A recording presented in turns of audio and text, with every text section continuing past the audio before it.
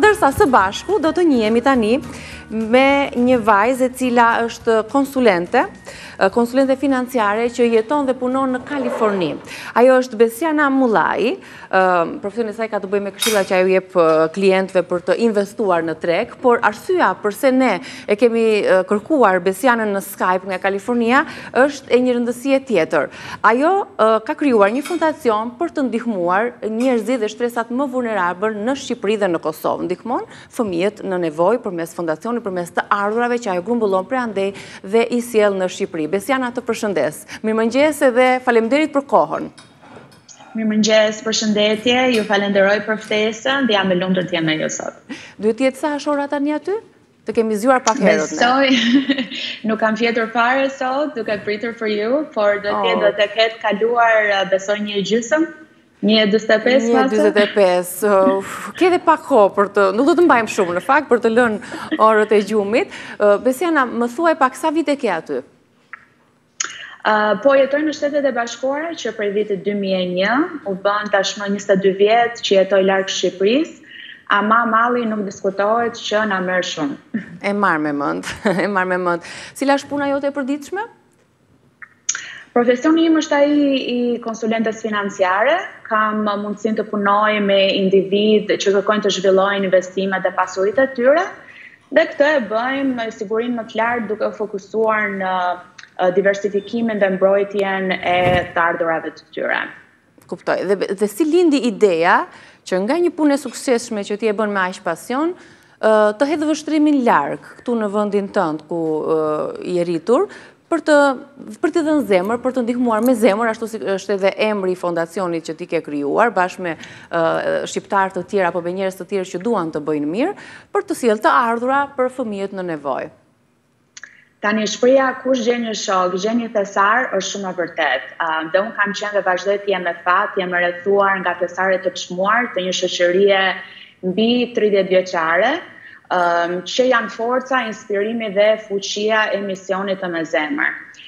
Jemi ende në fazat e para të mirëorganizimit, patjetër siç thotë dhe emri Me Zemër, lindi nga dashuria e madhe që kemi patjetër për Shqipërinë, Vizioni ynë si një organizatë jofitëimprurëse është që të gjithë ata që vlerësojnë kulturën shqiptare të mund të sfidojnë vështirësitë ekonomike rajonale të shumë familje në nevojë duke kontribuar në mënyrë domethënëse. Pra, jemi ende duke krijuar një platformë sa më transparente, ku ata që dhurojnë të mund të ndihen të sigurt që donacionet e tyre po shkojnë në vendin e duhur, në drejtimin e duhur, në vendin e duhur. Um, po deri më sot të gjitha donacionet kanë qenë personale dhe uh, sigurisht nga miqtë e familjarët, me të cilët gjithashtu kemi qenë shumë transparentë. Mm -hmm.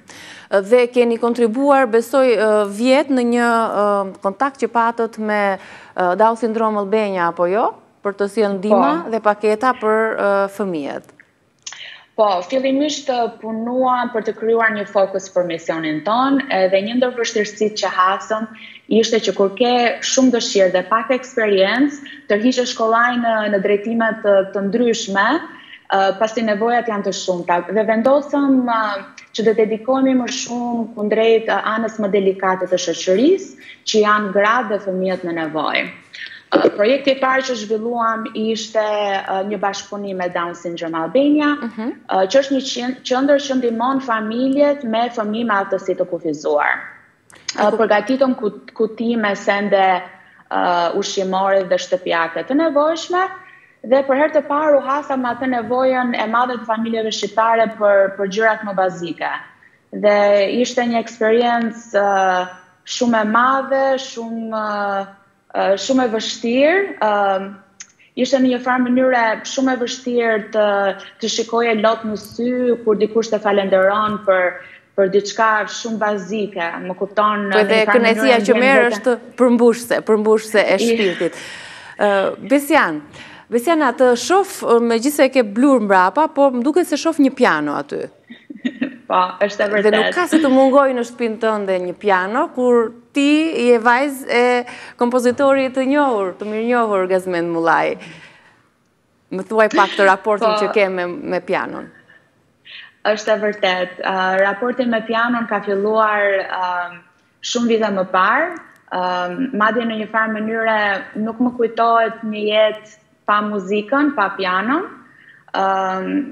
Që kur kam lindur,